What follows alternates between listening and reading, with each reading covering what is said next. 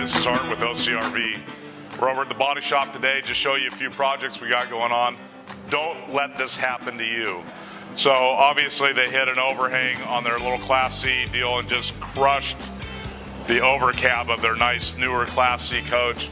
So you can see in here we've replaced all the inner aluminum structure and now we've refiberglassing and reforming all this work. So we'll get the fiberglass work, get it all finished up, get it in in the spray booth and get it painted, get it back to the customer. If we can help you with any body work, interior work, or any service work on your coach, give us a call.